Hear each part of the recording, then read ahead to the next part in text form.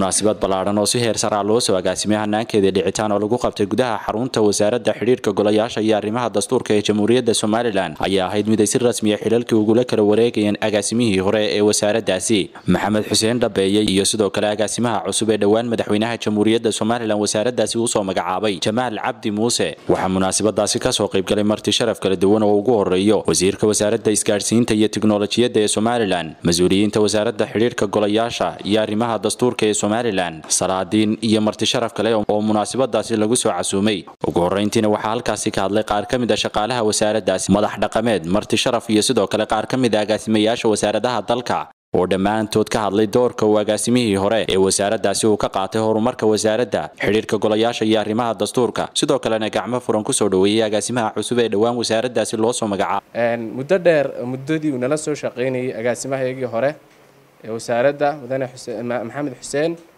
wuxuu ahaa qof aada iyo aada hal abuur leh karti badan oo muddadii uu joogay wasaaraddu ay gaadhay himilooyin badan iyo hiigsiyo badan ay wasaaraddu hiigsanaysay ay gaadhay.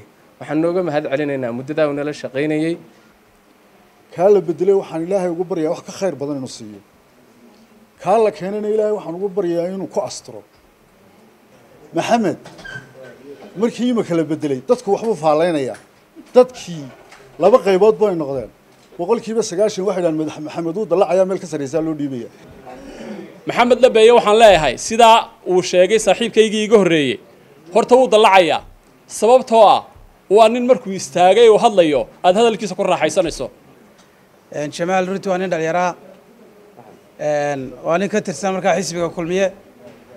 Waktigii ololaha lagu jirayna waa raggii xoogga u soo shaqeeyey xisbiga u soo shaqeeyey brofeshan ahaan waa nin xagga caafimaadka runtii khibrad badan u leh.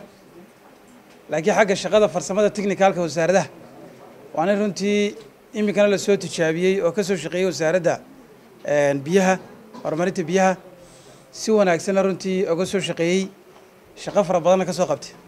Waxaanuba halkan markuu yimaado inuu shaqo badan ka qaban doono wasaaradda dastuurka saaxiibkay mudane maxamed xuseen dhabeeye agaasimihii hore markii hore agaasimaha guud ee wasaaradda dastuurku ahaa horena ciyaaruhu u soo ahaa horena waa nin siyaasiyo weyn xisbiga kulmiyin badan ku soo jiray iminkana uu ka tirsan yahay waa runtii shaqihiisa runtii aada loogu kalsooyay aad baan runtii ugu faraxsanahay maanta inaan ka soo qayb galo xafladdan xil wareejinta ee uu xilka ku wareejinayo saaxiibkay walaalkay maxamed xuseen dhabeeye sidoo kalena xilka uu kula wareegayo isna saaxiibkay jamaal cabdi muuse oo runtii ka mid ah agaasimayaasha dowladda. Runtii labada agaasimoba waan aqaanaa aqoon shaksiya baan u leeyahay. Waan la qabaa odayaashii iyo dadkii halkan ka hadlay. Ammaantaa iyo ammaan badan oo halkan aan laga soo koobi karay maxamed xuseen dhabeeye wuu u qalmaa. Maxamed wuxuu ka mid ahaa dhallinyaradii xisbiga kulmiye. Annagoo aynigeyga aan xisbiyadaba gelin isagu runtii galay. Horaantii labadii kun iyo labadii meelaha wuxuu ahaa dadka runtii tusaalaha u ah dhallinyaradu inay siyaasadda ku soo dhiiradaan. Shaqaalo weynaha wasaaradda tani aadka loo ammaanay. Aad ayaan leeyahay ammaantiina laydin ammaanay agaasimii sida fiican idiin ammaanay. Ilaahay idiin siyaadiyo.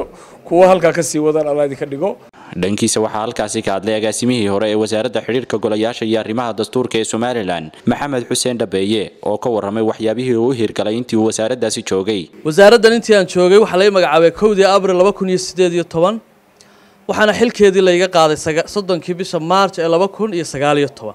Waxaan aada iyo aada runtii bilowgii wasaaradda dadkii hawshaa qabtay aan uga mahad celinayaa shaqadii ay qabteen oo ahayd ugu horreysay wasaaradda in loo sameeyey strategy balan muddo shan sana ah runtii lagu shaqayn doono oo lagu sawiray runtii mustaqbalka wasaaraddan sida u ekaan doonto iyo hawsha ay qaranka u qaban doonto. Waxaanu raadinay runtii in shaqaalihii wasaaradda joogay dib habeen lagu sameeyo moralkoodii kor loo qaado la tababaro tareerino kala duwan la siiyo waxa weye shaqaalo cusubna la raadiyo oo waaxaha waxa weeye dadkii lagu tababaro structurekiina la dhiso waax waliyo qaybahay u qaybsamayd. Waxaa kaloonu sameynay wasaaraddu kumay lahaan jirin gobollada xafiisyo iyo isudawayaal iyo dad matala toona. Waxaanu sameynay shan gobolood shanta gobolee waaweyne jabnad somalilan oo from waxa weeye laasacaanood ilaa cergaba ilaa awdal inaanu ka sameynay xafiisyo iyo isuduwayaal maanta shaqeeya oo ku jira xafiisyo qalabaysan. Waxaa kaloo iyana jirta inaanu howl badan ka qabanay xagga golayaasha. Maanta wasaaraddan aanu joogno ee waxa weeye aanu ku wareejinayo walaalkay jamaal waa wasaarad cusub oo runtii waxa weeye initiativeka iyo dadaalada ay wadaaba ay bilow yihiin.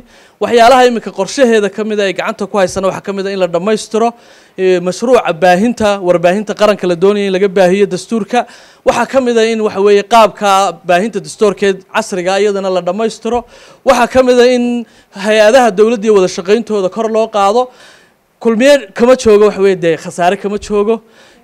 Waxaan ku dhisay laba dowladood oo waxa weye xilka maanta la kala wareegay oo midna xilkeedii ay dhammaysatay midna maanta ay hayso. Labadoodabana waan ka soo shaqeeyey waxa weeye dadaalkii ay dalka doonayeen inay ku qabsadaan aragti iyo mabdaabayga ahayd maantana waxaan caddaynayaa inaan xisbiga kulmiye ka tirsanahay kana sii tirsanaan doono sidaa uu saaxiibkii axmed abakar sheegayna aan ka mid ahaan doono dadkan insha allahu hankiisu uu ka mid yahay inay hoggaankiisaba u cararaan oo waxa weeye taladiisa qayb ka ahaadaan goobu joogaba. Ilaahayna ka bari maayo wax iga kaxeeyaa kulmiye. Inuu waxa weeye dhexdiisa iyo dalkeenaba ka yimaado. Dhankiisa agaasimaha cusub ee wasaaradda xidhiirka golayaasha iyo arrimaha dastuurka ee somalilan jamaal cabdi muuse ayaa si ballaadhan ugu mahadnaqay maamulka iyo shaqaalaha wasaaradda xidhiirka golayaasha iyo arrimaha dastuurka islamarkaasina soo bandhigay qorshayaasha uu ku shaqayn doono.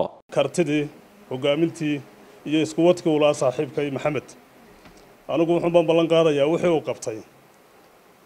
Anigoo kaashanaya wasiirka iyo shaqaalaha inaan halkeedii ku ilaaliyo. Qodobka labaadeen ballan qaadaya waxa weeye inaannu hore socod samayno. Anigoo marka hore ku bilaabi doono horta fahan inaynu inaguna isfahanno shaqadana aynu fahanno deedna aynu qorsho dejisanno. Kadibna aynu qorshaha wada fulinno inagoo wasiirka ka soo bilaabayna deedna aynu fulinayno haddii laha idhaahdo wasiirka wasaaradda isgaadhsiinta iyo tiknolojiyadda ee somalilan oo wasiirka wasaaradda xidhiirka golayaasha iyo arrimaha dastuurka somalilan u soo igmaday inuu labadan mas'uul xilka u kala wareejiyay ayaa dhankiisa halkaasi ka hadlay. Horta mar koowaad wasiirka ay soo wakiishay. Taan arkay wasaaradda wax badan baa iyaa iska bedelay hadday noqoto muuqaal hadday noqoto qaab shaqo iyo hadday noqoto shaqaalaha laftigiisaba. Waa dadaal ay wasiirka iyo ay muujiyeen shaqaalihiisu uga horeeyo agaasimihii hore marka la joogo wasaaraddan waa wasaarad aada iyo aada u muhiima. Adduunka takhususaadka la qaato waxa ugu qaalisan waxa la idhaha constitutional low ama alqaanuun dastuuri oo wixii ka hadlaya dastuurka waayo waxa weeye social contract ama alcaqd alijtimaaci waxa la yidhaha oo heshiiska aynu ku wada joogno dalka. Xariir maxamed kosaar telefishinka caalamiga star t v hargeysa